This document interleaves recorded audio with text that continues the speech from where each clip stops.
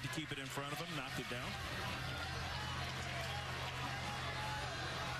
Josiah Cromwick is the nine hitter. Zach Hare on deck. Back to the pitcher, double play ball. Jackson, it's over.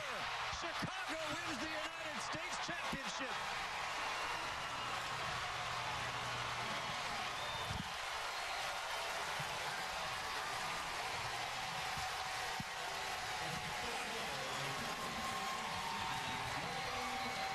And they are loving it in the streets of Chicago.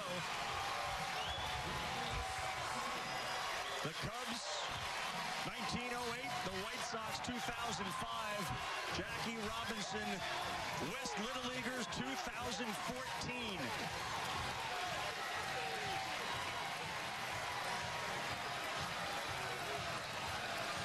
What a story.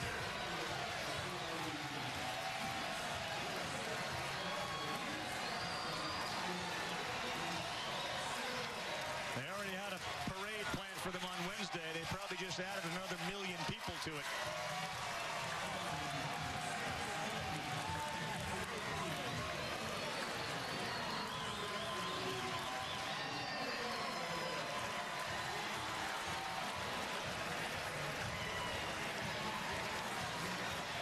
I don't know if we can say enough about how these both of these teams competed today in this game. Bad break for Las Vegas and the fact that Austin Krizik couldn't go.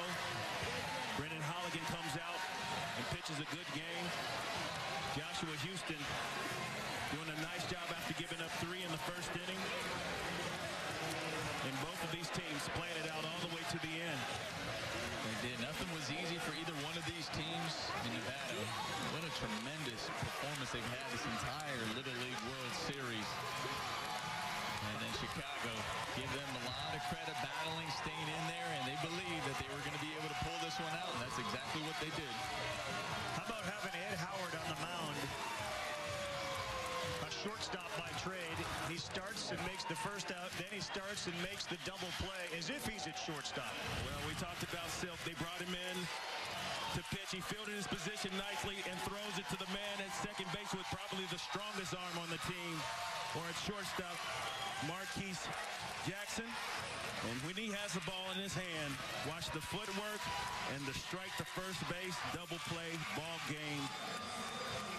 American champions. Hard to imagine what it means to the kids, their families, the Little League, Jackie Robinson West, and the city of Chicago. They are the United States World Series champions. Unbelievable story. They take care of the powerhouse from the West,